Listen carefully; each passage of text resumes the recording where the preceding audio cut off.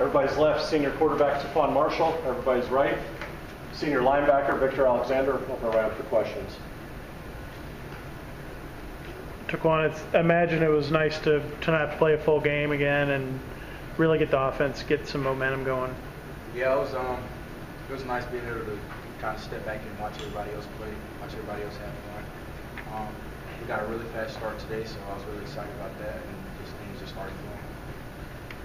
How important was it for you confidence-wise to get that first football pass, perfect pass? Um, just what does it do confidence-wise when you do a great pass like that? Um, it definitely will boost your confidence a little bit more. Uh, going into it, I mean, my confidence was already high. Um, Jalen ran a good route. I just tried to put the ball in a place where he could catch it and came up to be a big play, and it kind of got our offense rolling. Vic, can you run us through the, uh, the fumble play and, you know, did they turn you loose or, you know, what transpired during that play for you? Um, great call by Woody. Um, at that point in time, I didn't know I had to get back there. It was a play before that I got back there, but he got it off just a second before I could hit him. I was like, okay, yeah, they got to try to go back to that, try to see if it worked again.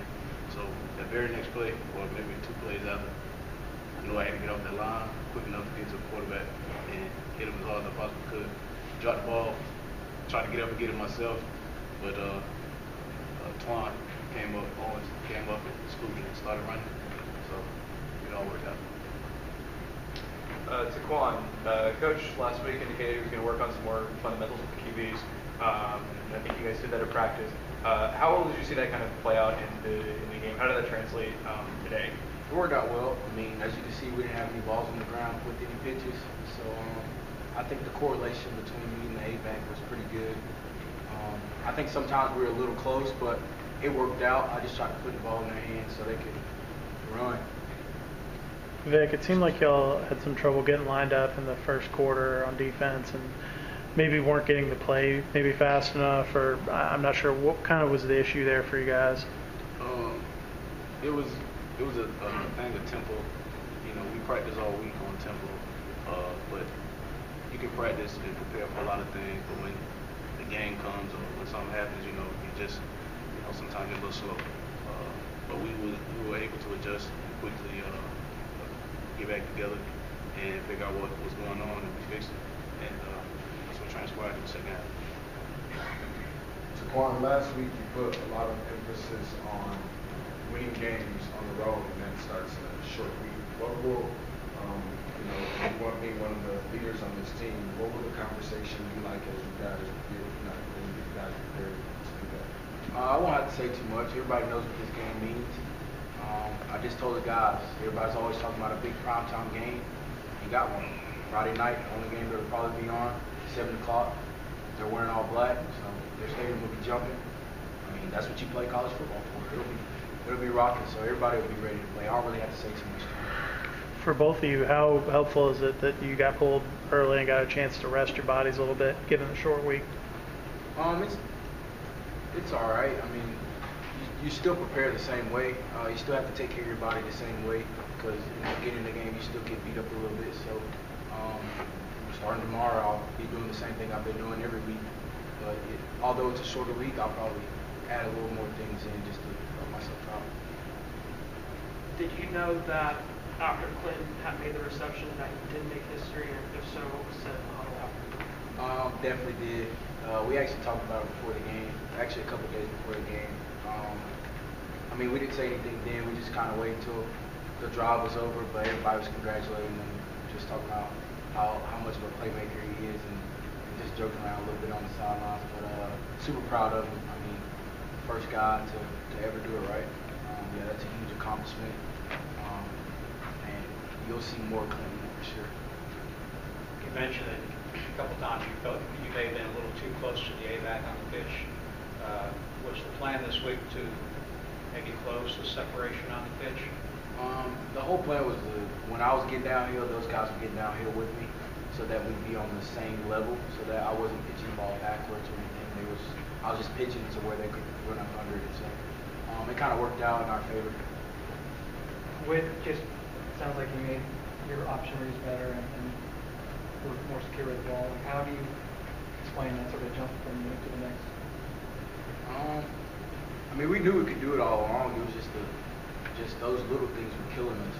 So we really harped on it and emphasized on it this week. That way we knew going into the game, as long as we did those things, we've been moving the ball down the field. That's not, that hasn't been a problem. But once we can eliminate those mistakes, then things will start going. And I mean, before halftime, we were four for four on drives. I mean, you can't really beat that.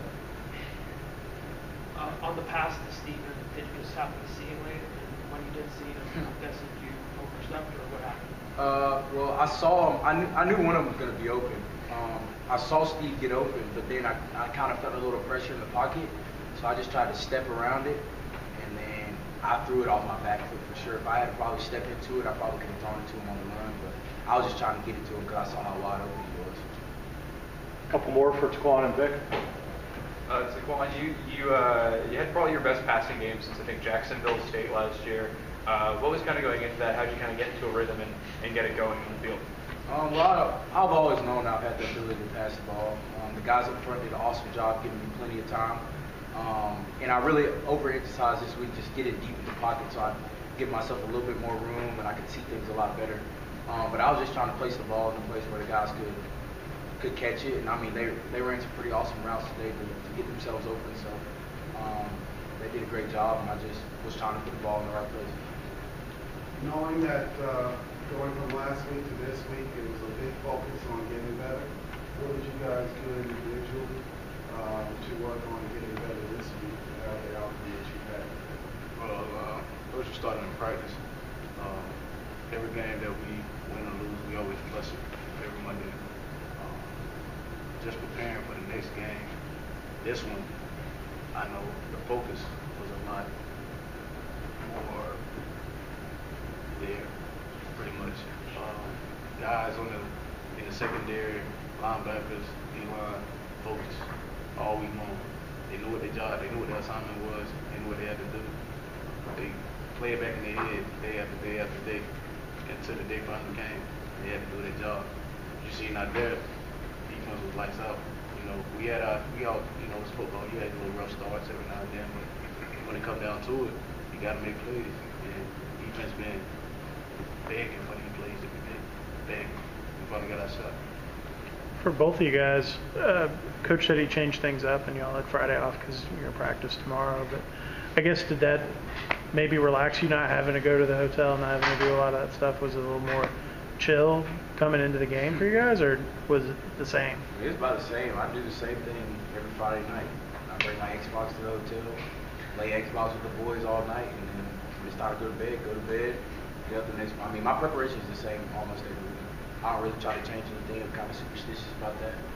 So uh, I do the same thing every Friday night. I mean, it just gave me a little bit more time to play the games because we didn't have meetings. So I mean, I was just chilling. I think my, my preparation for that. I got Trey Jackson as a roommate, so we sitting there and tell jokes.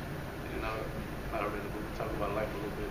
And you know, that's kind of how my thing is. You kind of bond with the guy that you room with and relax and kind of you know tell him about your life, man, and really get into it. When the game time comes, you feel like you're a lot closer. I can trust this dude next to me. Can trust this guy who's mine. I believe in you, you know. So that's the type of thing that we do. All right. TaQuon, Vic, thank you.